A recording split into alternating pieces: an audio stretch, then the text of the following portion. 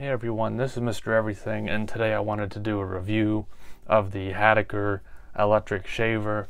I would say this is probably one of the best, if not the best electric shaver. Maybe not in performance, just but just sheerly because of the price. I think it's definitely worth considering if you don't have one or if you need another one or something. But uh, at least as of right now, uh, you can see it's very cheap, $27, and then there's a coupon uh, free shipping and everything. And it has uh, really good reviews. And you can see that these are a bunch of other no names that probably perform similarly, but when you go and name brand, you're paying several times over, and who knows truly how much better it is. And uh, aside from the few, the small chance that you'll get one that was used and still has hair in it, it seems like most other people are happy customers. And, uh,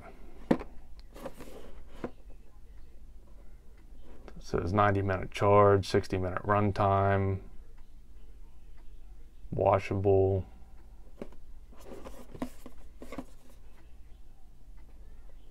And then the milliamp hours of the battery. So that's not a huge battery, but for what it is, I mean, I think if it's an hour runtime, that's good.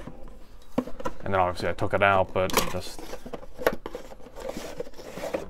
get a little paperwork.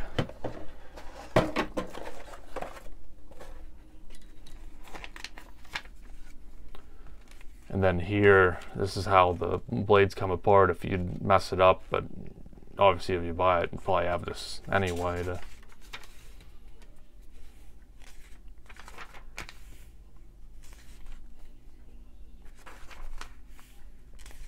And that's the end of the English. And then this just tells you how to shave if you don't know how, or maybe it would make using an electric one work a little better, I don't know. And then I like that they include this cute little card. Kind of gives me a reason to live. And then just, uh, oh, you know, nothing special, no um, charging stations, no uh, little stands or anything. But for the price, I wouldn't expect it. And then you also get this bag. I guess you could put it in there. It'd be kind of dumb to me unless you're traveling with it or don't want to scratch it up, but just set it in your medicine cabinet or sink counter or something. And you only get a charging USB. That's kind of like a, not really a proprietary, but just like a power plug and only goes in one way. For this, so it's not USB on this end, but it is on this. Some people thought that this didn't come with one. It's not supposed to. It doesn't say that it comes with one. So you either have to plug this in with, to anyone that has an iPad or phone, which is just about everyone. The um, power adapter or the little plug goes into this, or you could plug it into uh, a computer or Xbox or something. So you have to power it like that, but this is how it's done. Advantage over this compared to this, this is also a Hatteker. This is a, more of just a trimmer. Doesn't it doesn't do a shave what I liked about this model is you got two batteries so you could replace them. And that this one is just all sealed. Now I'm going to let you know now I'm not going to show me using it. So if that is too much for you then you can just rage quit the video now. But uh, for most reasons uh, people usually like the bathroom scenes they people just complain oh you're using too much water you're not using enough water. Oh are those bulbs energy efficient so not going to do that. I mean, it works basically the same as anything else. I'll just talk about how it works. It's kind of lightweight. It's not as heavy as that trimmer, but uh, so I was actually kind of surprised by it.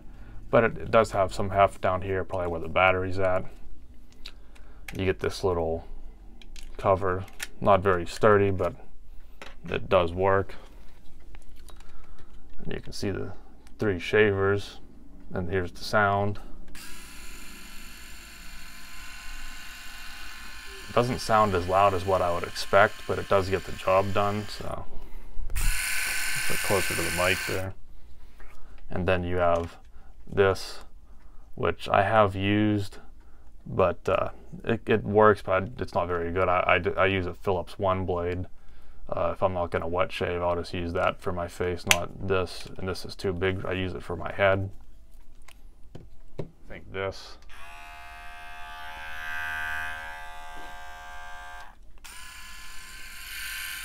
I think this one sounds a little bit beefier, but I don't know, I've never had any other electric shavers, so this might be how they all sound. To clean this one, there's a little button. Flips open real nice. You can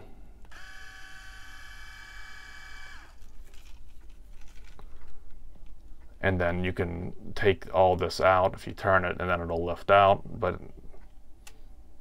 I found that you really didn't need to do that you could just open this up and rinse it out and it seems to work really well. You would think like when you use those clippers, hair goes everywhere, but as long as you're just trimming short, um, obviously stubble or something, all the hair stays pretty much contained in this. Some's on your skin, and then when you open this, it's mostly in here, and uh, maybe a little bit. You just rinse it out, and then it's like perfectly fine again. But I did notice when you close this, it'll flick water in your face when it so you kind of have to watch that. And then when you go to press these back down, they hold a little water in them. So then it'll like drip down your face if you're shaving your head, just to let you know. Now, if you were going to use this every day or every other day, maybe you could even go four or five days, it would probably work. But prior to that, you need to have your hair short enough. So you'll either need something like this to get your hair down short, then use this, or if you're just using it as a shaver on your face, just use like a disposable razor or whatever you have. And then uh, once it gets nice and low, you can maintain it with this. It did not work near as good when it was like too long. It's, it's not supposed to be, it's supposed to be short to use this because it's a shaver, not really a trimmer.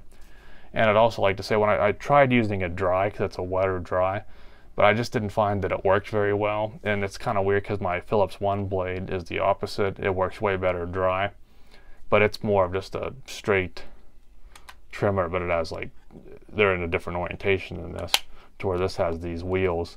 So I found that this glided way better with uh, either some water or I just got this at Walmart. It was pretty cheap. I don't think it's the greatest. It doesn't really lather as much as I'd like, but uh, a little too goopy, almost like jello or something. It doesn't really want to um, thin down, but something like that really helped out a lot because it, took me a while at first to get used to it. I did get some redness on the back of my neck, but uh, as far as like everywhere else on my head, it didn't do that. So that's probably just how anything like even when I just use a regular razor, that's just I guess a little bit of an irritation area for me. But I didn't get like any nicks or tug tugging or anything. And at first, it didn't seem all that great. But they say they're self-sharpening blades, and since they were brand new, maybe I don't know, but maybe it takes them a while to break in and they get better over time. I'm not completely sure, but I, after using it, that initial, if you would do it again the next day or even two days, it would you'd go pretty quick under five minutes. But then, if you let it grow out, it'd take a little longer again. So it depends how you want to use it, really. Again, I didn't find it as good on my face because I just think it's a little too too big for my face, but for my head, it works really well. So that comes down to what you want. It does work pretty good for on your head though. You get nice, you can get some different angles to help reach behind your skull or whatever. You can see this kind of all moves. One thing I wanted to mention is you can see these like cages or whatever are supposed to push in to help contour. But if I can get it, you see now like a lot of times if you're cleaning them off or something or you want to push the water out before you can see how this one is like messed up now and I noticed that it happened to all of them over time.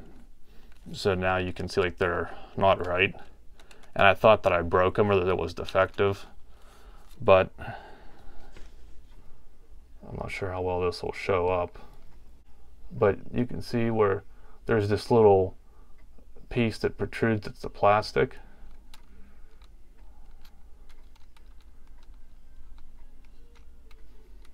And you'll see there's a notch in this rim of this like little cage that goes over the blades and those have to go together. So now you can see it fell back in place. So if you push it and then spin it and it'll get out of center you just bring it back over. Hopefully you can so on this one it's here. And then you can see I spun it back in and then it seats properly so just keep that in mind if, if they would push in or if it's not cutting good, check and make sure that's not the, uh, the case. Yeah, also you can buy, I believe, like this whole assembly for the blades if they'd wear out. But it's like 15 $16, and the reviews weren't as good as this whole device. People were saying that those blades didn't seem as good, even though it was Hatteker brand. They said that they didn't seem to be as good. So for $16, I mean, it's only 26 you might as well just buy this whole thing again. Now, that's not the most uh, environmentally friendly thing, but I'm not sure what else to do. It's just a better deal to get the whole new thing of a new fresh battery and apparently better blades. But I would think this would work well uh, for as much as I use it, even if I don't use it a couple times a week. I only use my one blade a few times a month, and I've been using it for two years, and the blades still work for me. So maybe that's just subjective. And uh, lastly, again, you get a 60 minute runtime. So I'm at 35. I've been, I think I fully charged it when I got it. And I might have charged like right after the first time just to see how quick it charged. But since then, probably used it close to 10 times, maybe a little less. So I would say the runtime's right around an hour.